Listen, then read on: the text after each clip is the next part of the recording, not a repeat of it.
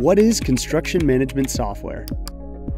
Construction management software improves a firm's accountability, collaboration, and financial visibility by scheduling and tracking the progress of a project.